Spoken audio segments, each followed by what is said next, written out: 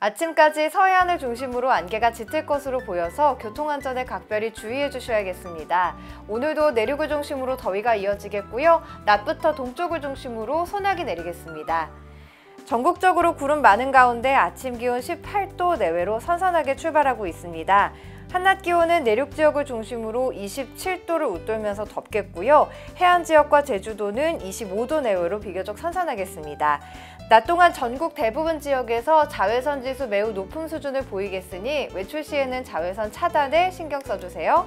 오후부터 밤 사이 경기 동부와 강원도, 충북, 전라 동부 내륙, 경상권, 제주도에는 소나기 오겠고요.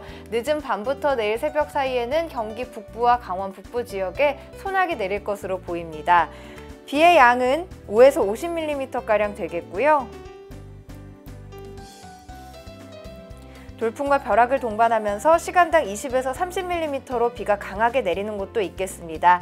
또한 우박이 내리는 곳도 있겠으니 각종 안전사고에 유의해 주시기 바랍니다. 오늘 곳곳에 소나기 소식 있으니 외출하실 때 우산 잘 챙겨 나가시기 바랍니다. 더 자세한 날씨 정보는 웨더뉴스 웹페이지를 참고해 주세요. 지금까지 웨더뉴스 오늘의 날씨였습니다.